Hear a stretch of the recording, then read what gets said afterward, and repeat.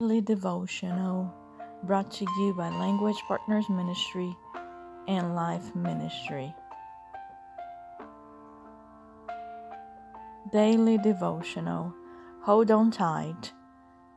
And I am certain that God, who began the good work within you, will continue his work until it is finally finished on the day when Christ Jesus returns. Philippians 1 6.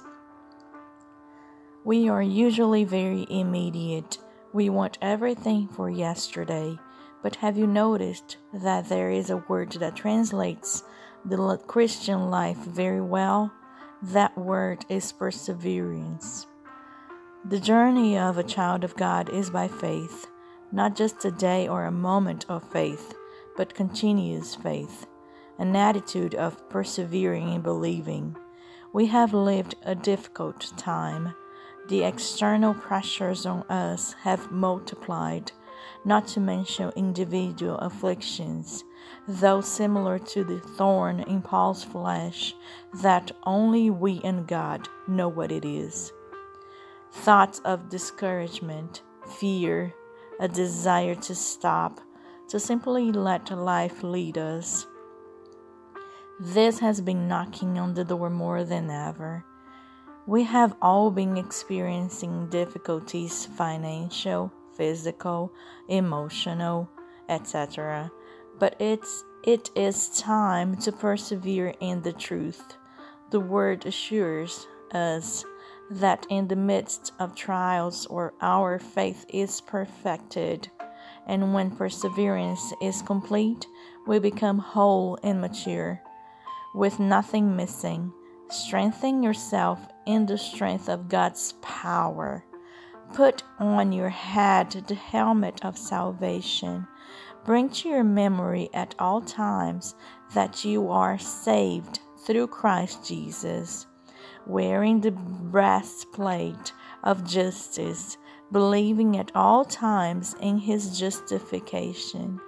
This frees you from the burden of guilt and condemnation. Do not give you, do not give up being wrapped in the belt of truth, which is Jesus himself. Put on your feet the sandals of preparing the gospel of peace, always walking in a peaceful and pacifying way. Remembering that the gospel produces life and peace. Raise your shield of faith always believing and declaring the word of God. This is how the fiery darts of the evil one are extinguished. The devil launches the lie. We raise the shield of faith and the truth. Wield the sword of the Spirit, which is the Word of God. Believe the Word, meditate the Word, study the Word, agree with the Word and declare the word. Remember, the word of God is effective, it is spirit and life. It is a powerful seed that never comes back empty. Hang on, tight, hang on tight, my brother and sister. If Jesus told us to to cross over the other to the other side, no matter the storm and wind that ravages us, his word is always fulfilled. We will arrive at the destination declared and appointed by Him. We are not those who go backwards, but we are those who advance in faith, persevering in the truth to the glory of God. Hold on tight. This devotional was written by Katiane Lins with Life Ministry and translated to English by Fabiana de Souza with Language Partners Ministry. Thanks for watching. God bless you.